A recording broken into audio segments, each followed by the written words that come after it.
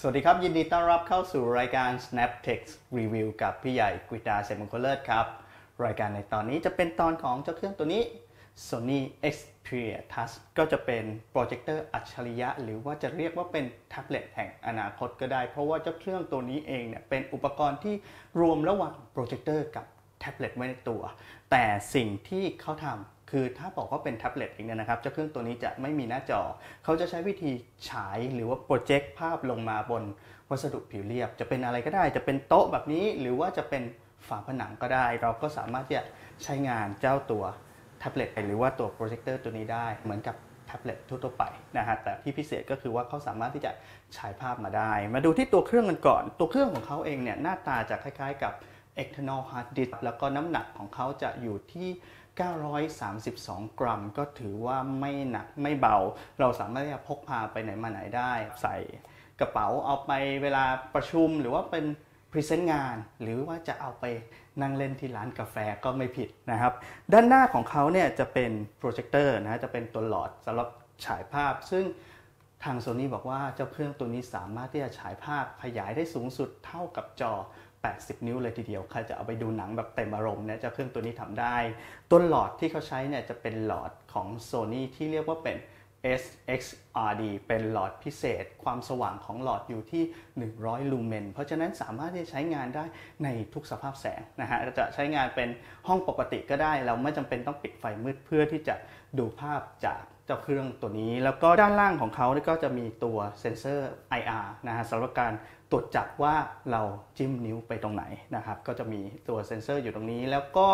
ด้านบนของเขาก็จะมีตั้งแต่ปุ่มปิดเปิดนะฮะมีปุ่มปิดเปิด มีตัวกล้องด้วยนะครับ ตัวกล้องตัวนี้ความละเอียดจะอยู่ที่ 13 ล้านพิกเซล แล้วก็มีตัว Human Sensor เป็นตัวตรวจจับว่ามีคนอยู่ในห้องไหม คือไอตัวฟังก์ชันตัวนี้มันเอาไว้ในกรณีที่เราวางเครื่องไว้เฉยๆ เครื่อง standby อยู่ ถ้ามีคนเดินผ่าน เจ้าตัวเครื่องตัวนี้จะเปิดหน้าจอขึ้นมาให้โดย อัตโนมัติ แล้วก็มีตัว Light Sensor ซึ่งเป็นการปรับสภาพแสงให้ก็จะวัดว่าไอความสว่างของแสงแอมเบียลหรือว่าแสงในสภาพแวดล้อมตอนนี้มันสว่างมากน้อยแค่ไหน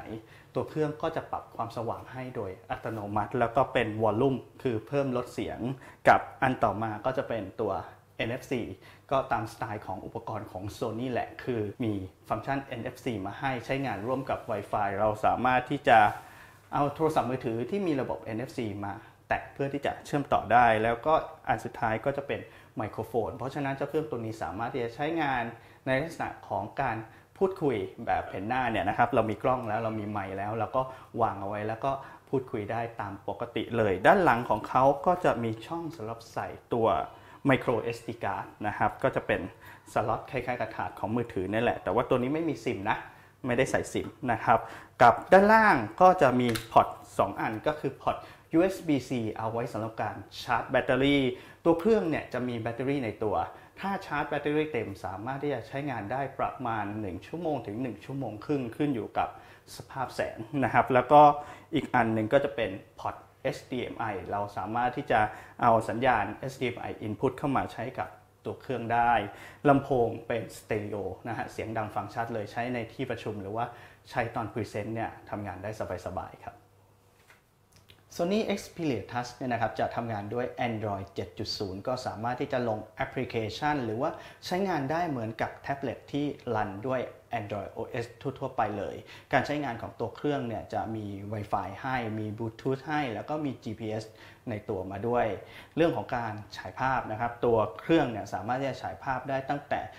23 นิ้วถึง80 นิ้วใหญ่มากนะฮะ เอาไว้ดูภาพใหญ่ ๆ เต็มๆตาได้เลย รวมถึงว่าตัวเครื่องจะ ปรับโฟกัสอัตโนมัติให้ คือเวลาที่เราวางเครื่องไป เปิดขึ้นมาเนี่ยเขาจะโฟกัสภาพให้อัตโนมัติ เราไม่ต้องมานั่งห่วงว่า เวลาที่เราเปิดเครื่องมาแล้วจะโฟกัสได้ไหมต้องมานั่งขยับเครื่องอันนี้เขาปรับให้เองเลย เท่าที่พี่ใหญ่ได้ทดสอบเนี่ยนะครับ ก็ต้องบอกว่าการฉายภาพของเขาจะสวยงาม ก็ต่อเมื่อฉายภาพลงบนวัตถุที่เป็นพื้นผิวสีขาว หรือว่าเป็นโทนสีอ่อน แต่ถ้าใช้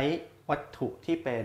พื้นสีเข้มอย่างพวกสีดำอะไรแบบนี้ภาพจะมองลำบาก เพราะฉะนั้นเวลาใช้งานก็หาเป็นพื้นผิวที่เป็นโทนสีอ่อนให้เขารวมถึงว่าแนะนำให้เป็น พื้นผิวเรียบด้วยนะครับ แล้วก็เรื่องของความสว่างของเขาอย่างที่บอกว่าเราสามารถที่จะใช้งานในสภาพแสงห้องปกติได้ ไม่จำเป็นต้องหลีไฟลงมา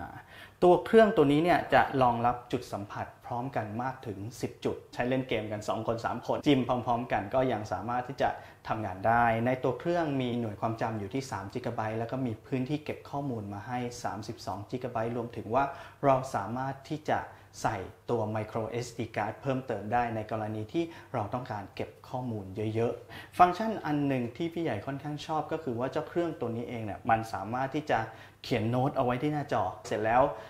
ปล่อยให้เครื่องมาสแตนบายก็คือเครื่องปิดไป พอเวลามีใครเข้ามาในห้องมีใครเดินผ่านเนี่ยตัวเครื่องจะฉาย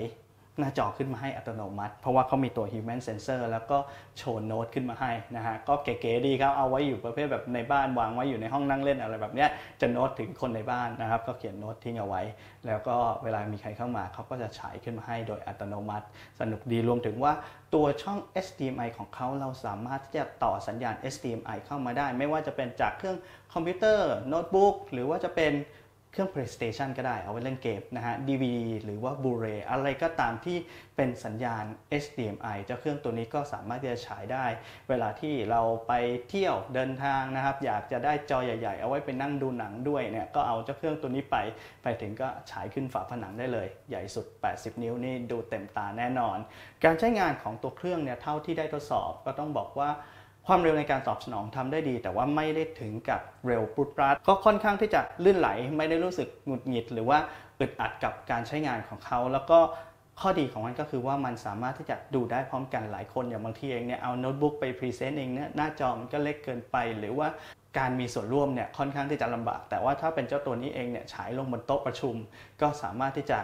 ประชุมร่วมกันได้แล้วคุยงานร่วมกันจิ้มเปลี่ยนค่าต่างๆ อะไรพวกนี้ได้ก็สะดวกดีแล้วก็สำหรับ ใครที่จะเอาไปประยุกต์ใช้ในการพรีเซนต์งานลูกค้าเอาไปเขียนแอปพลิเคชัน เพราะในวันนี้เองเนี่ยแอปพลิเคชันบน Android ก็เขียนไม่ยากนะครับ อย่างบริษัทเองเนี่ยอยากจะพรีเซนต์นะครับหรือว่าทำเป็นท่าแต่งทายให้ลูกค้าลองเล่น ก็สามารถจะเอาเจ้าเครื่องตัวเนี้ยนะครับใช้งานคู่กับตัวแอปพลิเคชันของบริษัทได้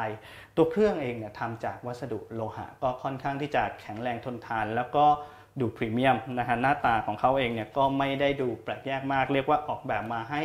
ใช้งานได้กับทุกการออกแบบในห้องนะจะเอาไปวางไว้ในห้องไหนก็สวยแหละพูดง่ายๆ ก็ทั้งหมดนี้จะเป็นเจ้าตัว Sony Xperia Touch ขอบคุณสำหรับการรับชมรายการในตอนนี้ครับ พบกันใหม่ในตอนหน้า สวัสดีครับ